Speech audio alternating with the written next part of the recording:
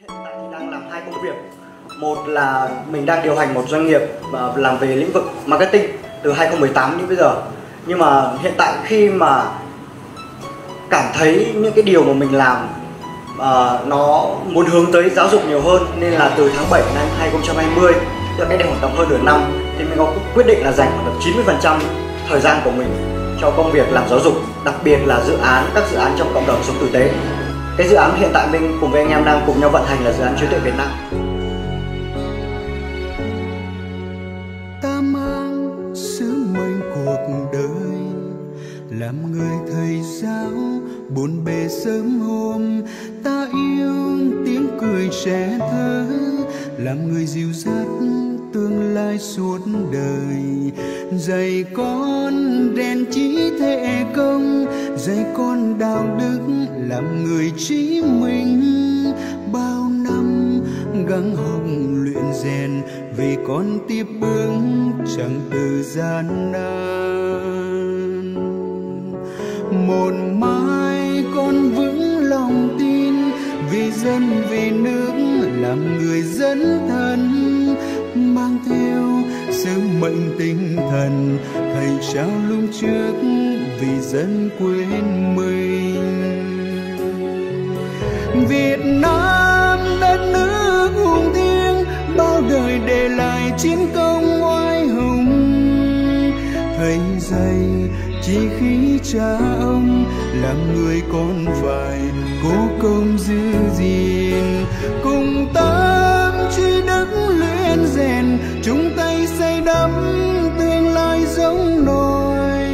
tiền tài vẫn chất xa hoa, đâu bằng con cháu ngẩng đầu năm châu tương lai sáng đẹp mảnh giàu Việt Nam đất nước dòng tiên oai hùng.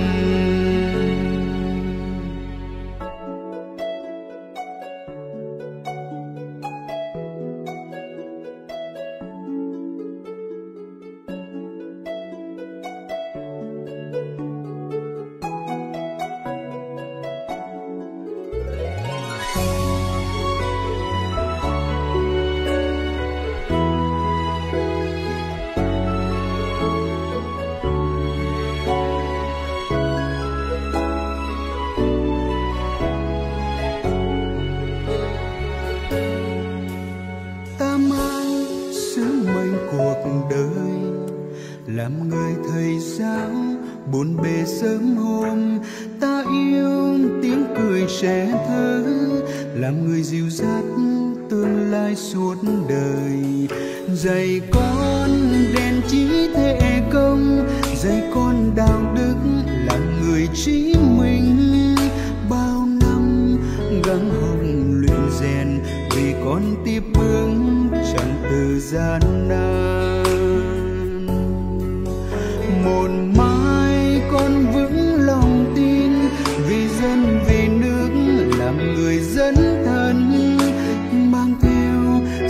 mạnh mệnh tinh thần thầy trao lúc trước vì dân quên mình. Việt Nam đất nước hùng thiêng, bao đời để lại chiến công oai hùng. Thầy dạy chỉ khí cha ông, làm người con phải cố công giữ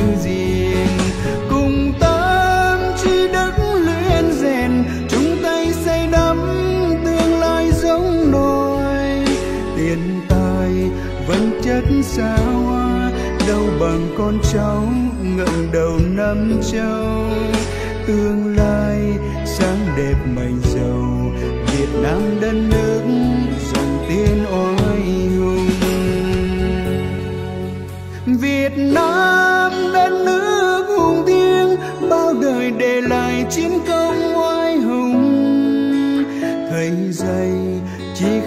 cha ông làm người con phải cố công giữ gìn. Cùng tâm chi đức luyện rèn chúng tay xây đắp tương lai giống nồi tiền tài vẫn chất xa hoa, đâu bằng con cháu ngẩng đầu năm châu. Tương lai sáng đẹp mây dầu, Việt Nam đất nước tiên oai hùng Việt Nam đất nước. Dòng tiên oai hùng